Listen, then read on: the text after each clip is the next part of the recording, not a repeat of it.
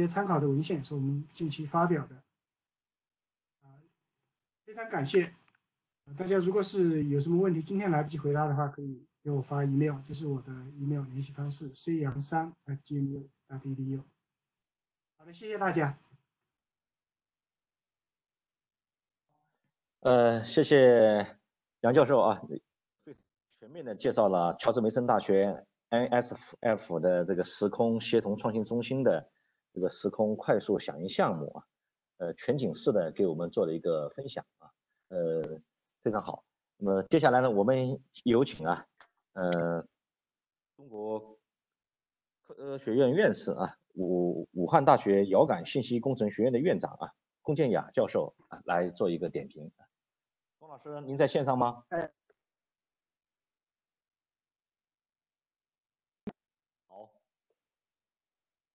吗？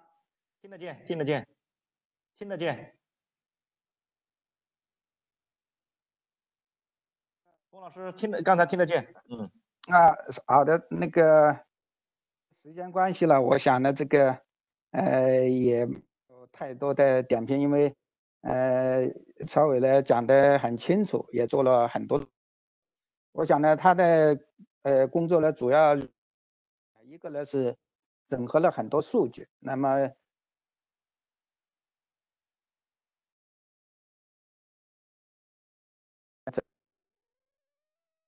第二个呢，就是很多的呃这个有意义的时空分析。我想呢，这个呢，这个刚才他都讲的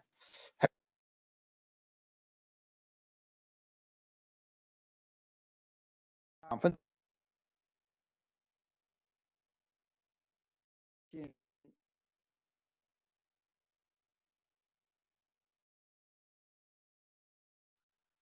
指挥的是说，呃，一在一些说方，应该说是呃，主要在三个方面的。第一个呢是工程管理，呃，这个工程管理方面呢，实际，呃呃，我不是对国家有太多的了城市呢，现在都用了一个 G S 的系统，呃，然后再把这个位置这一块，呃。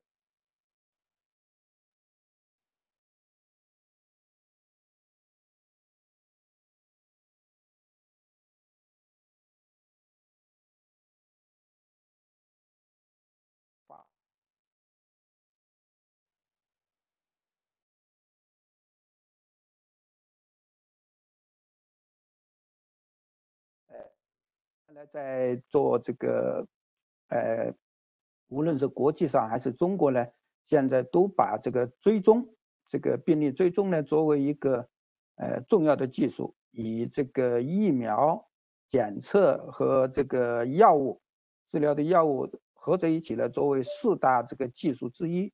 我想呢，这个呢应该说我们 GS 啊，或者是这个位置服务的一个是重要的一个呃贡献。那么这个。呃，现在这个美国呢和这个欧洲也都在推这个呢，就是以这个蓝牙来追踪技术来追踪这个呃一个患者曾经关联过的人，呃接近了大概两米距离之内接近的人。那我们这个武汉大学呃陈雷的教授呢也把这个软件做通了，这是第一个。第二个呢就是说做的一些这个应用呢，就是公众。和一些管理人员用的这个地图，刚才超伟这里呢也，呃显示了很多。我想呢，这个呢是普通公众和一般的管理人员，呃都做了很多的工作呢，也地图做了很大的起了很大的作用，很直观。第三个呢，就是今天超伟做的这个工作呢，我觉得比较欣赏的一个呢，就是政策的年率指数，就是我们现在为什么这个美国。呃，跟中国呢，就是说这个，呃，就是控制，呃，就就是说这个病情发展的话，这个美国人就不相信中国怎么能那么早快的控制下来。